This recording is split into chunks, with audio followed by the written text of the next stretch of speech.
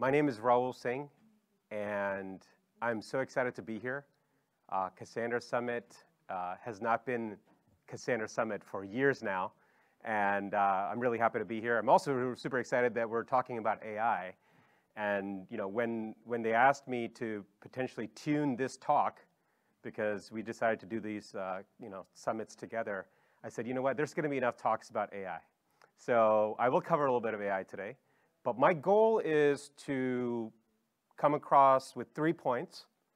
One is, you know, how do you design an open data platform that can withstand personnel changes, people coming and going, technology changes as technology comes and goes, right? Number two is, how do you do that in a way that future-proofs you for more and more AGI or AI coming down the pipeline? And number three is, how do you control this? How do you keep control of it? We're at an open source convention, uh, open source summit here. Um, so it's, it's not necessarily about everything happening to be running on your hardware, but it's really, do you have control over the software, okay? So the biggest challenge, um, you know, I think humanity faces is that people are gonna uh, figure out, you know, the, they gotta figure out how to steer at the computer while robots do the work, right? I, I think if you don't know that, trust me, even as smart as you guys are, how do you stare at your computer while robots do the work? You're gonna do it, because you're gonna be running a, an LLM-based application, you're gonna be watching how it runs, right? Uh, half of this, this is a joke, but half of this is true. And this will come full circle when I talk about, um, you know, how do you build a data platform that is AI ready, right? That AI can help with later on. But really, it's, it's about the knowledge management.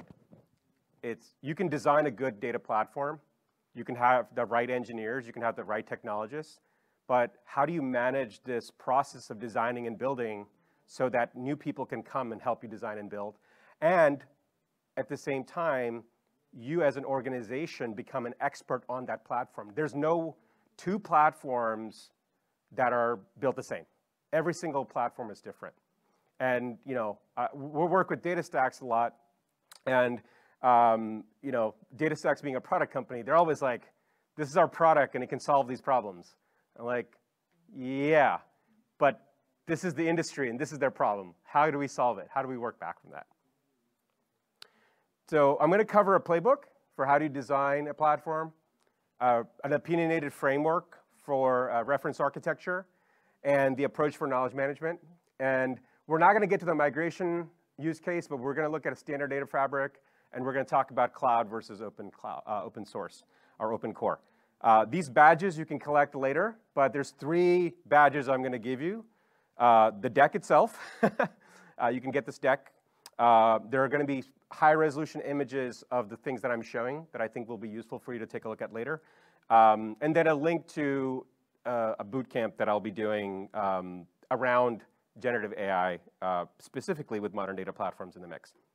So our company, Shameless Promotion, we, we help platform owners go beyond their potential. That's why we work with Cassandra, because uh, Cassandra is infinite. Um, and we do this using our playbook, and that's what I'm going to be talking about. And our playbook is, is basically a set of principles, okay? Uh, we worked with a lot of logos that you probably interact with, and these logos, they end up using uh, databases like Cassandra uh, because that's the only database in town at that point that, that'll work, all right? Um, at the end of the day, you know, we, we look at our company as a people and knowledge company. Ultimately, we're solving problems for people. We're solving challenges. Modern technology is very disconnected, right? Um, this is a picture from 2020 of the marketing technology stack. And in a consumer-oriented company, the marketing stack is where a majority of data comes from. And how do you consume and how do you process that information so that it can help you make decisions, right? And, and then you have on the, the, the bottom right side, this is a tech stack of all of the open source LLM frameworks and tools and AI tools that are out there. So technology just keeps getting more and more complex. Not because the technology itself is becoming complex, there's another player, there's another player, there's another player. But what do most people need? Most people, they just need a way to find information, right? Analyze it and act on it. It's usually these three things, right? And I joke that, you know, database technology is been the same. Get, get your stuff into the database, get your stuff out of the database. But as people use it, it's about retrieval. It's about finding visualization, one way to do it. Analyzing the data could be one way to do it. Um, and acting and sharing on it could be another way to do it. And just put in the back of your mind, ask yourself, where does the AI fit into this? Because the AI can help with that stuff. Business platforms, uh, mature business platforms, they actually cater to four different kind of audiences, employees, partners, customers, and let's just say things, and I would maybe add AI later on, um, as services that are going out to people. It's, it's a customer experience.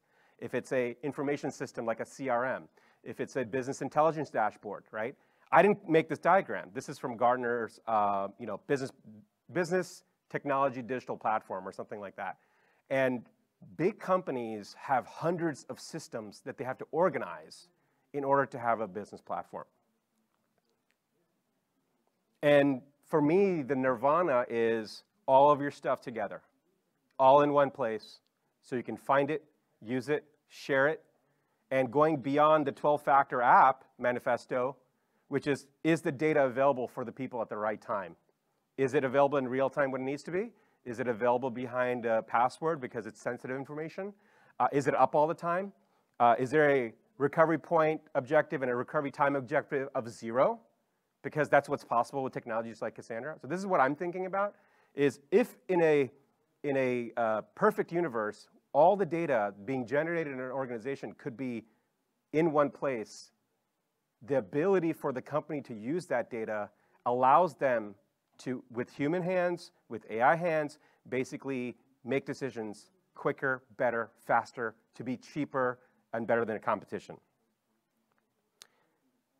All companies go through this sequence, by the way. Um, you bring up silos, you create standards, uh, then you create standardized data, and then eventually you can uh, have standardized processes so that the company can do new things quickly. And the value of the organization's technology depends directly on how your optimized data core is being built and managed. Because if a company acquires another company, how quickly can they integrate that company's resources? It's not about the technology. Eventually, it's really all about the data. Today, companies are using things that are outside the firewall, right? They're using apps, software as a service, QuickBooks, Salesforce, et cetera. The standardization is about containers. It's not about you know, Windows versus Mac versus Linux. It's about are we using Kubernetes or are we using Kubernetes?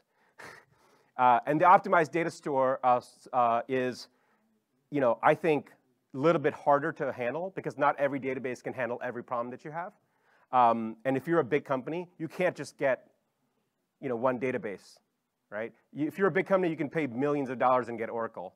But if you're a company that wants to scale in a growth perspective to be able to cater to millions and billions of users, um, you can't go down that route. That's not going to work either, right? The goal is business to business modularity. How can you make your platform in a way that allows you to connect with those other people I just talked about, customers, employees, partners, right? And eventually things and maybe AI, um, in a way that if the shifts in business change the direction of your company, you're able to pivot much quicker than, than if you didn't have the stuff together. Uh, generic data platform, you guys have all seen it. You know, data in, data out.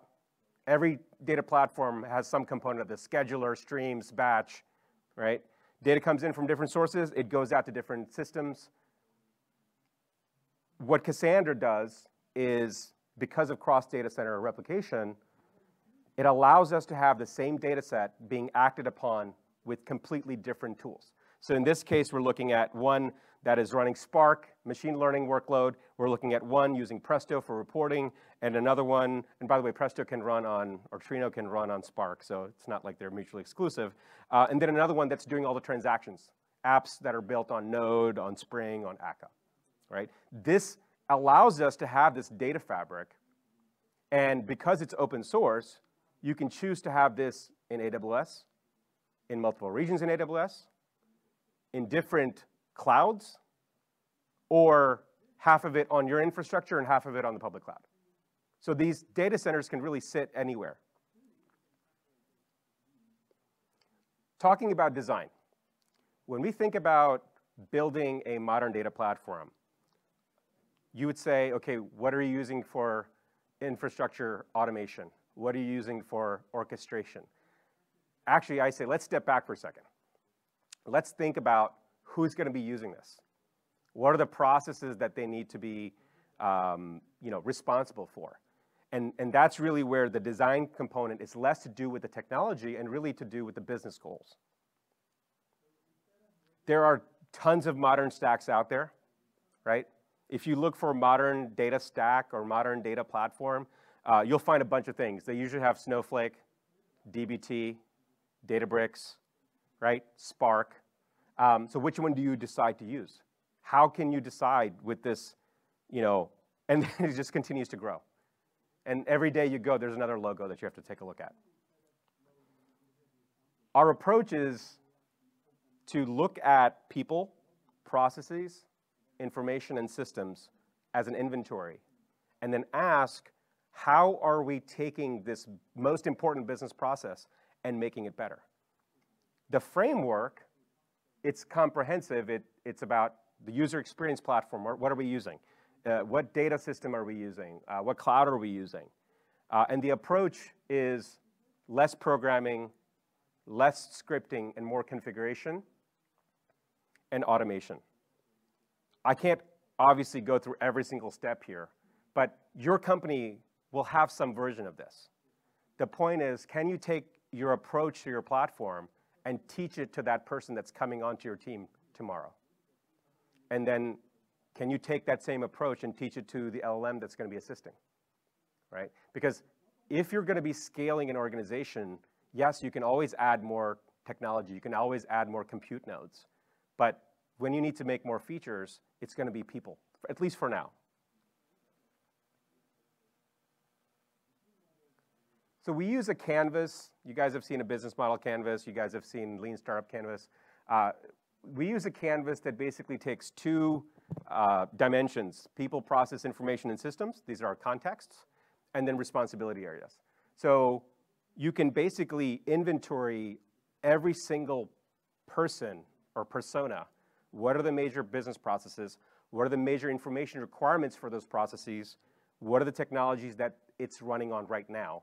To find out, potentially, are there redundant systems? Are there processes that could be sequenced together? You can zoom in. For example, this is a design for a data platform where there were customers, business uh, owners, uh, engineering, and operations. Every business that's of scale has, obviously, customers, the business product owners, right? What are their goals? Well, in one case, it's to add data reports and integrate data, right? The business uh, product owners, they wanna release and support customers. Uh, developers and engineering, they wanna develop, test, release, and operations wants to support infrastructure. If we think about the goals of each of these users, they're not trying to fight each other, but sometimes it feels like that. But when you put it all in one place, you can show them that actually they're trying to do the same thing, right? They're trying to help the customer out. And what we found out here is that there's actually very little overlap in terms of the data requirements between customers and business product owners versus the engineering and operations, and people were expecting there to be more overlap. In our framework, uh, we go through uh, a simple checklist. Uh, is it distributed? Is it real time? Is it extendable or open? Is it automated, and can it be monitored or managed? You can do an architecture on Amazon, public cloud, right? You can do an architecture on Microsoft Azure, public cloud. Sure. You can do an architecture on Google, public cloud. Are they all distributed? Yes. Are they all real time? Yes. Are they extendable? Yes, they all have open. Uh, usually, they're all open in terms of APIs, not open source, right? Can they be automated? Yes. Can they be managed or monitored? Yes, absolutely. So being a distributed platform does not mean that you have to use open source, But the case I'm trying to make is you should look at open source as a, as a priority because you get more freedoms when you're using open source. If you look at the ecosystem, there are tons of specialized databases that are out there. There's tons of streams that are out there. There's tons of, tons of stream processors out there. So how do you, how do you use this stuff, right? There's lots of data modernization, automation, integration tools out there. Uh, who has done ETL with the no-code, low-code tools that are out there? Anyone? Like Airbyte or Grouparoo? Okay, I didn't think so. There's, it's relatively new. Um, in the whole ecosystem of business software, no code, low code, I believe that's the future, right? And all of these tools basically help facilitate automation and building of systems without too much programming.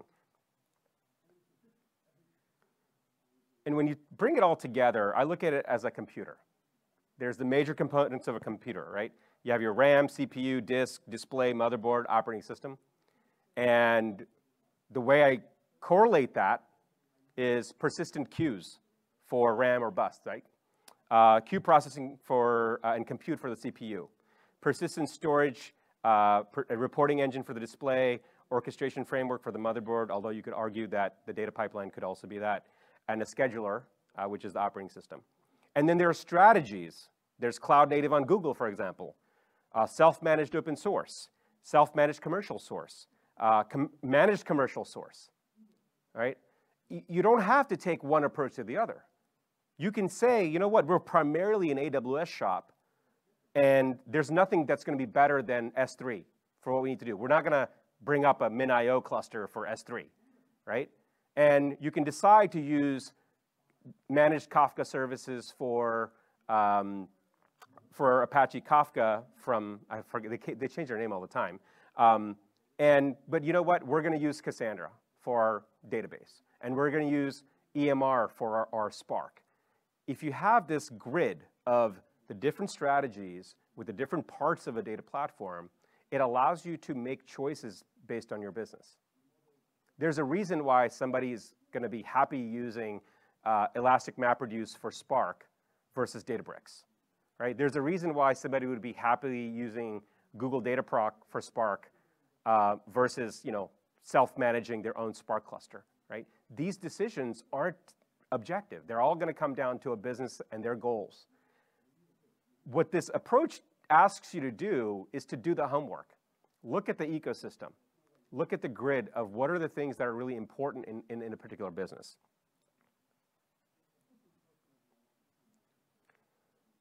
This diagram is going to be available on the downloads, so we're not going to go into it. But in this, what I've done is collected basically all the open components for a distributed data platform and added to it things like no code, low code for ETL, reverse ETL, as well as low code, no code for user interface. And the goal with this is that when we are thinking about a scalable data platform, that we have a starting point. We don't necessarily have all of the choices made for us, but we have a starting point. And in here, there's Astra and Cassandra and you know uh, self-managed DSE as an option because all three of those can do something very specifically. Uh, at the same time, for the query layer, we may end up using Snowflake in some instance, and we may use Presto in another instance. And then finally, the approach. The approach that we take to managing platforms is making sure that we have at least one page for every component and every platform that has the following schema of knowledge documented. How do you set it up? How do you train on it if you don't know what you're doing? How can you do basic administration? What does the configuration look like? Where is it stored? And what are our external links to knowledge? It could be JIRA tickets. It could be uh, a blog for an expert. It could be a YouTube channel, right? And periodically, a person that owns the component will go and update that. I know that this is a technical you know, conference, but trust me on this. Knowledge management is a big differentiator between teams that perform and teams that don't, right? And I didn't even come up with that. Like that's a McKinsey study. 75% more efficiency if you have good knowledge management. But think about the AI that's coming. Think about prompt engineering. The more relevant data that you can give that AI to build things or maintain things for you, the better it is, right? So it's not just like you're preparing for today. When you start documenting systems in a structured way, you're actually preparing for the future. Uh, the full schema is available on the download, um, but it can go deeper. So if you want to go mature the knowledge base beyond one page per component, you could technically go and have a whole page per you know, per uh, section, or a whole wiki wiki site just for a stack for one component or one platform. Um, I separated it out basically into two sections. Uh, every framework has a platform, and there are components that make up the platform, and then there's extra resources. And so what you'll see here is that the components of a platform could be the infrastructure, the compute, the data, um, you know, the cloud components, uh, open source components uh, versus uh, you know, cloud native components. This may seem heavy, but if you do the work and you have a README in your repos for every you know, system out there, you kind of already achieved this, right? It's really about having a structure in place that you can tell people where the things are.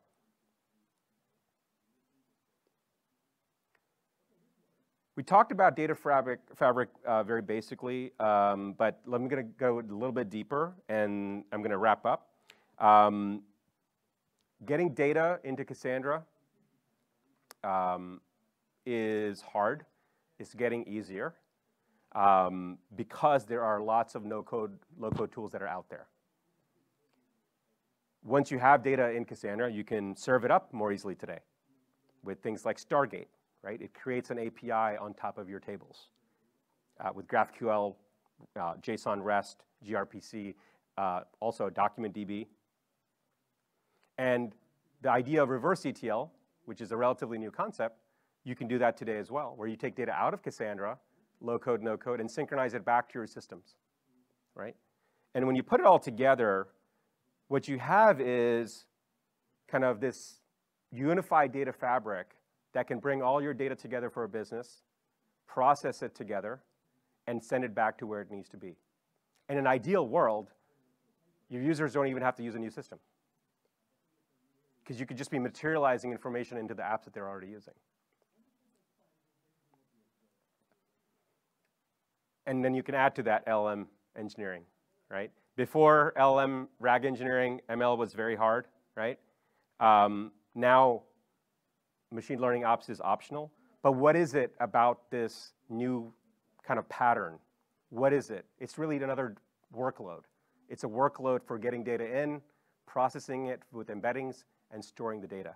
So if you think about the larger ecosystem of what's possible with Cassandra, it's not just you know, REST APIs.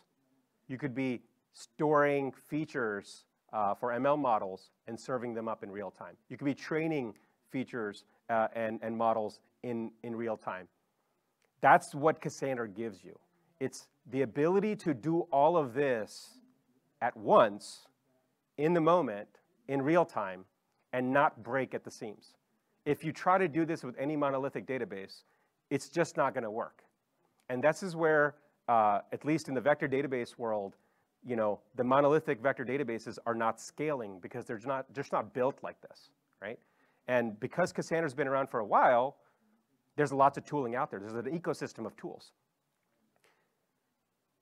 when people say, why Cassandra? I'm like, okay, when there's Keyspaces at Amazon, Cosmos DB, Yugabyte, and ScyllaDB all copying Cassandra, obviously Cassandra is doing something right, right?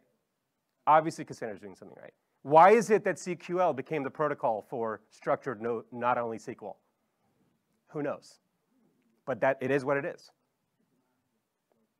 Takeaways, I would say, don't reinvent the wheel. just identify the objectives. Uh, I think a lot of times in the data platform world, uh, it's like, oh, we need to warehouse all the data. That's not the goal, actually. The goal is somebody using it. It's somebody using it for some job that they have, some goal that they have. Um, prioritizing DevOps and data ops, automation is the key for a modern data platform. Um, people should not have to stare at their screens while a batch job is running, right? Um, they should not be looking at the log analytics uh, you know, sitting in front of their computer to make sure a, a batch job is running okay, right? Or, an e or a real-time ETL uh, you know, app is working okay. Um, use open tools. Obviously, it's about open platform. And then basically to document the stack. If you document the stack, you're going to be fine. Thank you. Uh, dream big. Um, the whole deck is available uh, with that QR code. And um, I can take any questions if you have.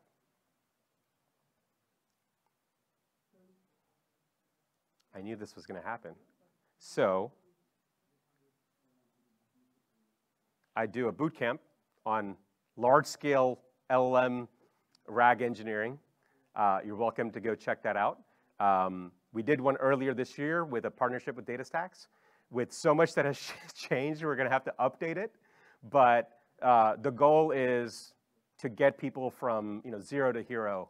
Uh, you know, looking at the whole RAG LLM engineering skill set and getting them up to speed uh, to be able to build a large-scale LLM application. Uh, quick preview of the agenda. It's uh, strategy and theory, uh, which is important if you're going to be looking at this long-term as a career. Uh, design patterns that are out there. Uh, there are no-code and code LLM stacks, if you will believe it. and you know, building a custom chatbot with LLM for your own data.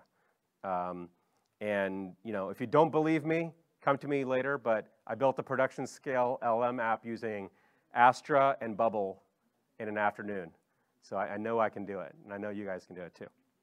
And with that, I'm going to wrap up. So thank you so much for coming. Appreciate it.